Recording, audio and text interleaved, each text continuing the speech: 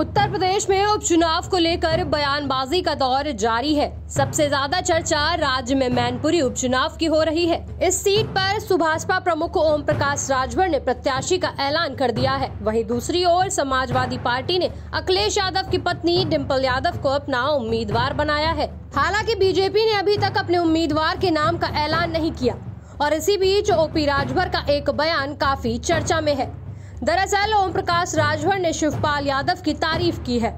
उन्होंने कहा कि शिवपाल चाचा ने ही काम शुरू कर दिया है। जब परिवार आपस में लड़ता है तो रावण का नाश होता है। विभीषण को घर से निकाला गया तो रावण का सर्वनाश हो गया था।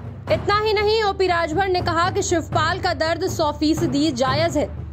उन्होंने पार्टी बनाई थी, उसको इस ऊंचाई तक ले जाने में नेताजी के बाद दूसरे नंबर पर किसी का योगदान है तो वो शिवपाल सिंह यादव हैं। सुभाषपा प्रमुख ने आगे कहा कि आजमगढ़ भी सपा की पैतृक सीट थी और रामपुर भी थी। उनकी पूरे प्रदेश में तीन चार बार सरकार भी रही। लेकिन सब चला गया। शिवपाल यादव की अपनी पार्टी है। वो चाहे तो खुद भी लड़ सकते हैं। कोई दिक्कत नहीं है। हालाँकि इस चुनावी मौसम में ओम प्रकाश राजभर ने शिवपाल यादव की तारीफ़ करके माहौल गर्मा दिया है। क्योंकि ओपी राजभर सियासत के मौसम वैज्ञानिक माने जाते हैं, जिन्हें हर सियासी माहौल की जानकारी होती है। अब देखने वाली बात ये होगी कि ओपी राजभर का ये बयान उनको कितना फ़ायदा पहुंचाता है।